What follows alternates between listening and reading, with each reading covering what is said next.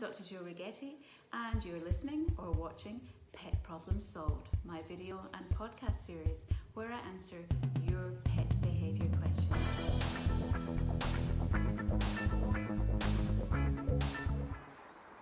Not sure if you can see here, but we've been building a bit of a garden pond here, and my chickens like to get down, very nosy, and investigate everything that's going on around it. Michael asked me if it's okay for his dog and cat to drink out of his garden pond. Well, presumably the water in your pond is quite healthy and clean, in which case there's absolutely no problem. But if you're adding chemicals, then I would say, you know, discourage them by having adequate sources of fresh water elsewhere for your pets to drink out of. Of course, a lot of garden ponds are host to frogs, to tadpoles, even to fish, and that it may be those animals or the plants there that are actually attracting your pet. So make sure your pet has lots of other entertainment and then they'll probably stay away from your pond when you need them to.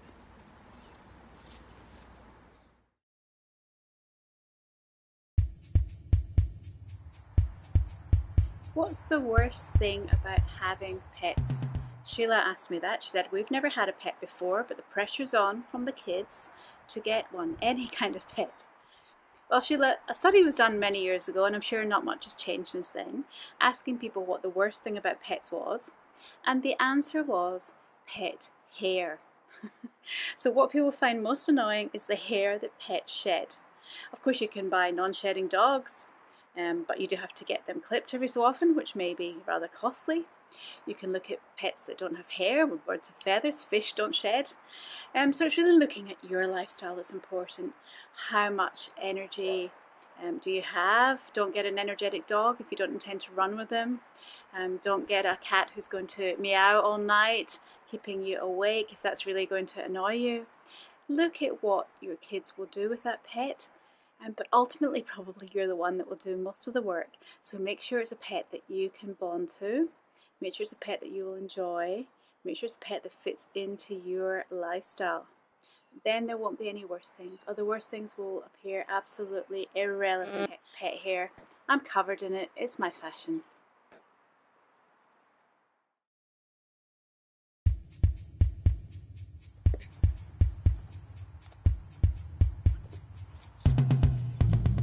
How old is your dog? I had a question asking me what age should we expect dogs to slow down? Well, Chili Dog is now 11 years old, 11 and a half, and she has slowed down a little. She can still do a, a, a, big sprint when she wants to, but in general, she's quite happy to just, you know, lounge around with me, and I'm quite happy to do that too, because after all, I'm getting old too. So, generally, we say that dogs are getting towards senior years when they're only seven or eight years old.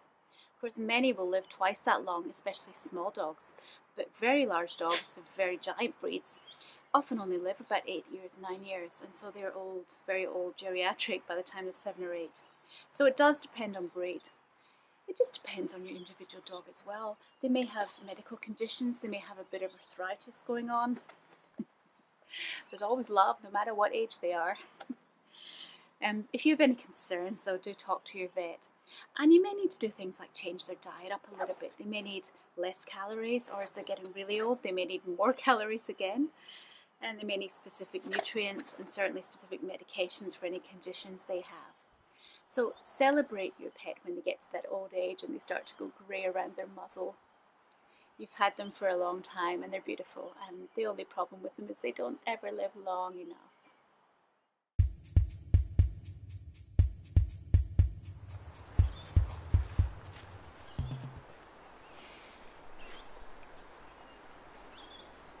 Why does my dog eat cat poop? Louise in Newcastle asked me that one. This is so common. Um, even my dog, Chili Dog, has been known to do that, given the opportunity. And that's what it is. It's opportunistic behaviour. Dogs will eat anything that resembles food. And to be honest, there's still a bit of nutrition in your cat's poop. And so when they come across that sitting freely available, they'll just go for it and eat it. Not all dogs do it. And you know, if everybody's healthy and medicated, it probably won't do much harm, but it, you know, nobody wants doggy kisses from a dog that's been eating cat poop. So I'd say get yourself a covered cat litter tray, put the cat litter tray high where your dog can't access it. Just common sense sort of principles of keeping the cat poo out of your dog's sight and smell. And make sure your dog's got an adequate diet too and give them lots of other activities so they're not doing that for fun. If you're enjoying our Pet Problem Solved podcast and video series, why not subscribe to us on your favourite podcast channels or on YouTube? We do post these on social media too, so you can check in on individual problems or watch each of our weekly series. We love having you here and we look forward to receiving your questions. If you have a question for us on your pet's behaviour, it doesn't need to be a problem, just any question about pet behaviour please email us at info at petproblemsolve.com.au or check out our website petproblemsolve.com.au. I'm Dr. Jo Righetti, animal behaviourist. Please take care of your pets.